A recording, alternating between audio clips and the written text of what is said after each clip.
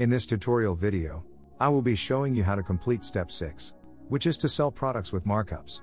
A markup is a percentage increase in the selling price of a product.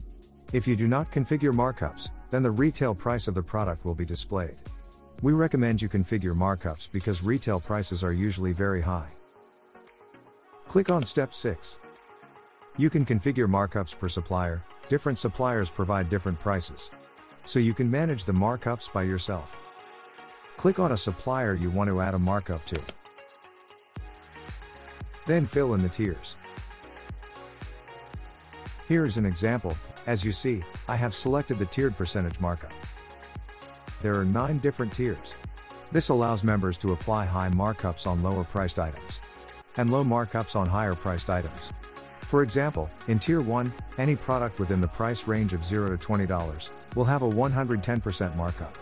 In Tier 2, any products within the price range of $20.01 to $30 will have a markup of 85%. The next tier range must always start with 1 cent above the previous tier. For example, Tier 1's range ended with $20, so Tier 2's range must start with $20.01 and so on. As the price range increases, the markup percentage decreases. This is reasonable because having a high markup on a high priced item is too much. Once you have configured all this by yourself, if you want this to apply to all suppliers, click on Copy to all suppliers, then click on Save. If you want to add an amount markup, instead of a percentage markup, you can do that as well. The same things apply. As you see here, instead of entering a percentage, you will have to enter an amount in dollars. Here is an example. I have filled the first three tiers. You can fill all these tiers by yourself. In Tier 1, any product within the price range of 0 to $30 will have a $25 markup. In Tier 2, any product within the price range of $30.01 to $45 will have a markup of $20, and so on. These are just examples. You can configure all this by yourself. If you do not know how to set prices yourself, we can set prices for you for just a small fee of $5.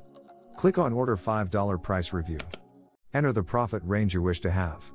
Then we will set prices of every item on your list, using the price overwrite box. We will enter a new price that will yield a profit from your desired range. This process takes one business day. When we calculate the price using this service, we take into account the fees, Wholesale2B fees, and the Amazon fees in this case, since I'm using Amazon.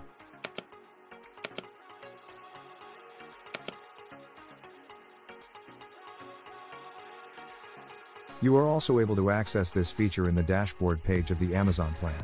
There are other optional upgrades that will help you improve your selling experience.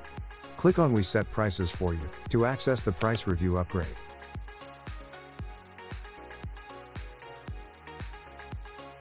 You can also set markups for shipping prices, but we do not recommend doing this.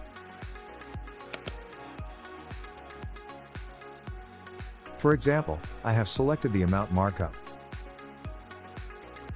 as you see here, the after markup is not assessed because I have not applied a markup yet. Let's use the first row as an example. Before the markup, the price is $123.23. Let's say I want to add a $15 markup.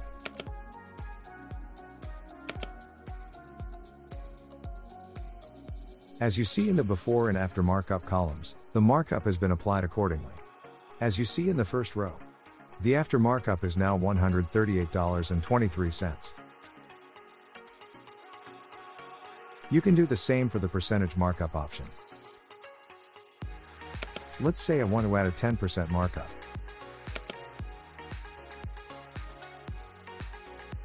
As you see in the first row, the after markup price is now $135.55.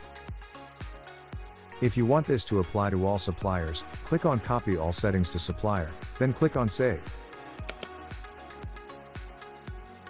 That's all you need to know for step 5. I will cover the rest of the steps in separate videos.